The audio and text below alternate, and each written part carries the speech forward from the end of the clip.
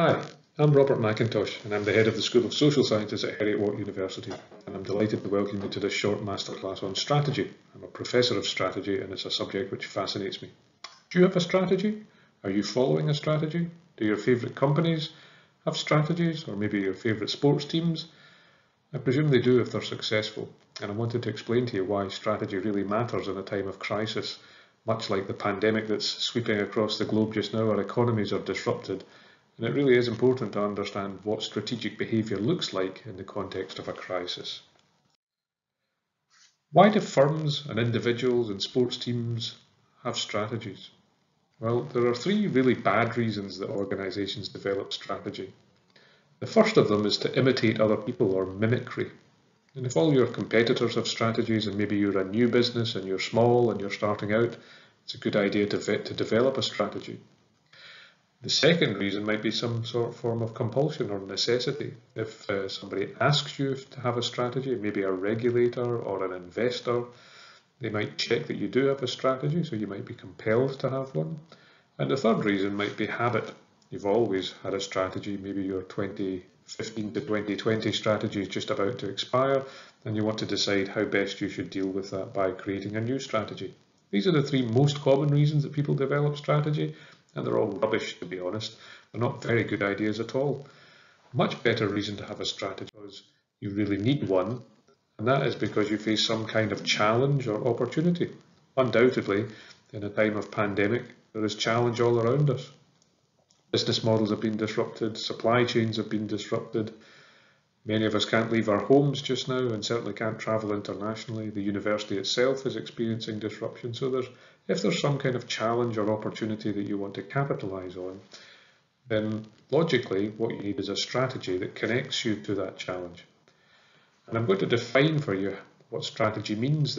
Uh, this definition comes from a book that I wrote um, in 2015 uh, with our colleague Donald MacLean, and we define strategy as the craft of collectively reacting to some significant challenge.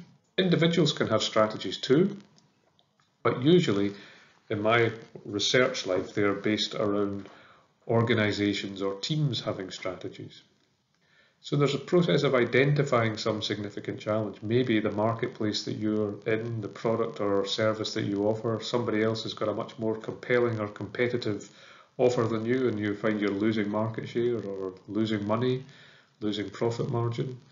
Or maybe you just see a huge opportunity, a traditional business that uh, is doubling in size every few months as the internet sweeps through its, uh, its activities, or maybe your business, which was relatively small scale, has become really popular. Maybe you manufacture personal protective equipment like face masks, and they had a specialist market in healthcare settings, but now everybody wants them. So there might be some significant opportunity or there might be some significant challenge. Strategy really is the process that allows people to achieve more than can be reasonably expected. So when you see a sports team or a political party or a business or an entire country achieving more than can be reasonably expected, it's fair to say that they are following a strategy. Just recently, the country New Zealand declared itself pandemic free, so there was no coronavirus cases reported over an extended period. And it would have to be said that how they achieved that was quite strategic. They entered into lockdown early, they restricted people's movements and engaged in tracing and tracking uh, people, and they've had very severe restrictions in place for a period of time. But now they find that the country is coronavirus free and so they're able to lift all of the restrictions that many of us are still living with. Given how difficult some countries have found the, the pandemic, that might be said to be more than can be reasonably expected for a relatively small country like New Zealand. But strategy usually is about the relationship between what you're doing now and the medium to longer term future of your organisation. So think about your own situation and think about your own personal ambitions or goals and think whether you are being strategic. Is there something that you are doing which is going to allow you to rise to the significant challenge of achieving what you want to achieve? Maybe it's getting a degree, maybe it's getting a particular kind of job, maybe it's running your own business, maybe it's uh, achieving something particular in your life uh, that might be work related or personal. And a strategy then would be how you're going to do that. Strategy is also defined as uh, a theory of how you're going to compete. So when a small company or team or uh, group take on a much better resourced team or group or company, they have to have a strategy. So if you're going to take on Amazon in the online retail space, you'll need to have a strategy for dealing with that. If you're going to be the most successful person to graduate from your year group, you're going to need a strategy to help you deal with that. Jay Barney, the American academic, then defined strategy as a firm's theory about how to compete. And I would generalize that to say that that could be true for you as an individual, but it could equally be true of you in a team setting, or you in the company that you work for, or you in your studies, or you in your future career. And in times of crisis, which is what this short talk was about, why is that important? Well, it's important because of a concept in the strategy literature called dynamic capabilities. And dynamic capabilities is an idea in strategy about the relationship between how you currently do something and how you're going to do that in the future.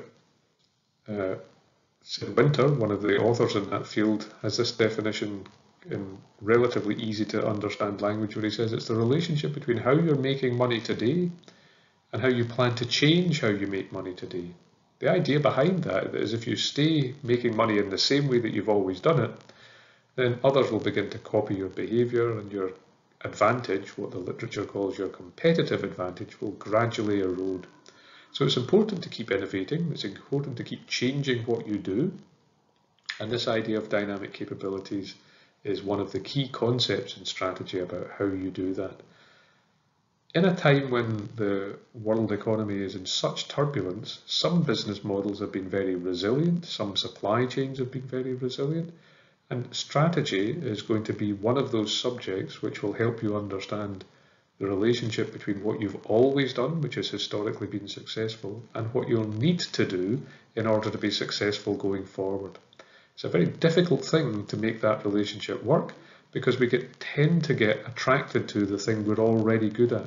Nobody likes to do new things if you're already good at things, if you're already making money, if your customers are happy, if your profit margins are okay and your technology is okay. It's very challenging to think about abandoning that and starting something different. Typically, when we start something different, we're worse at it and we don't like being worse at things. So, dynamic capabilities is an area of work which is very challenging for individual organizations. And just in the, in the period of the pandemic, lots of organizations have been challenged to think differently about how they monetize their services, what they do, which, uh, which customers value. Some businesses have been incredibly successful during pandemic. The majority of businesses, however, have actually found it really difficult to maintain their traditional operating mode. And so if you come to Heriot-Watt and choose to study a management related degree, the most important subject in my view that you'll study is strategy because strategy is the subject that will get you to tie together all of the other things that you might study.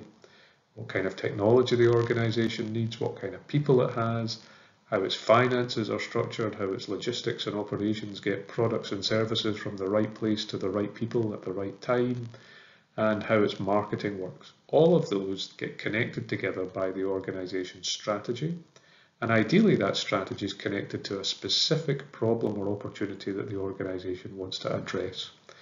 And over time, because strategy really is about the medium to longer term, over time the critical thing is that that strategy reflects changes in how you've historically made money and what you're going to do going forward that will make money for you in the future.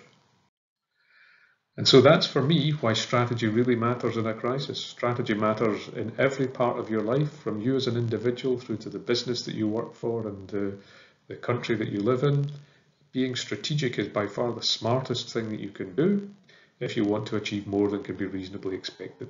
And who doesn't want to achieve more than can be reasonably expected? So I hope you've enjoyed this short masterclass. I hope you enjoy having a look around our virtual, virtual open day at Heriot-Watt and I hope you come to study with us at one of our campuses in Scotland, in the UK, in Dubai or in Malaysia or indeed at all of them because many of our students transfer from one campus to another as part of their studies with us.